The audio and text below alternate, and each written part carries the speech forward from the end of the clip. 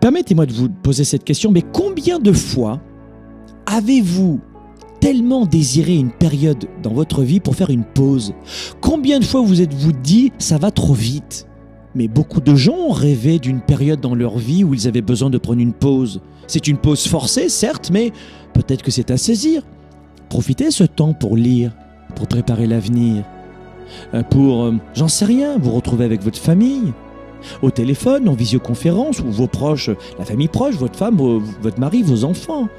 Jouer à des jeux de société, de bouquiner au coin du feu, de, de préparer un grand projet ou d'écrire un livre ou d'écrire un projet pour dans trois mois et puis vous n'aviez pas le temps de le faire.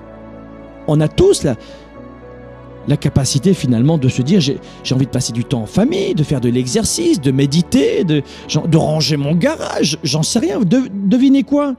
Votre souhait est exaucé, on vous le donne le temps. Et la plupart d'entre nous, on l'a demandé ce temps. Et maintenant, on s'en plaint et ça nous angoisse? Oui, parce que nous devons combler un vide. Parce que nous vivons tous les jours un peu comme des zombies ou comme des marionnettes. On nous dit quoi faire. Vous savez, on ne peut pas contrôler tout ce qui se passe. C'est impossible. Impossible de contrôler l'incontrôlable, et notamment dans le monde. Mais vous pouvez prendre le contrôle de votre anxiété. Vous pouvez le faire.